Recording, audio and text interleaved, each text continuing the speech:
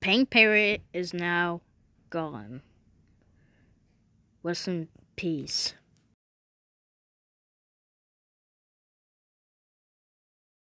Gotcha.